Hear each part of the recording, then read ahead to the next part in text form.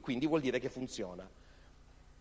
I signori danesi, e questo secondo me è l'esempio al quale dovremmo eh, attingere noi giornalisti italiani, se non altro per questioni numeriche, i signori danesi che hanno potuto beneficiare in fase di start-up di un finanziamento pubblico perché questi, questo team di esperti governativi ha ritenuto sostenibile il loro business, quindi gli hanno dato dei soldini, se non sbaglio intorno ai 400 mila euro, che non sono pochi per lanciare una piccola impresa giornalistica,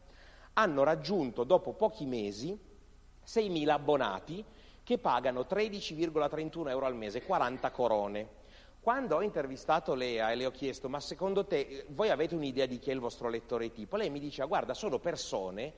come tante altre che semplicemente non sono stupide e non è che hanno, avevano smesso di pagare perché non gli interessa informarsi, avevano smesso di pagare e di comprare i giornali perché non trovavano più quello che volevano. E quando gli ho detto ma che tipo di giornalismo fate, mi ha spiegato che loro scrivono eh, intorno ai 5 pezzi al giorno mediamente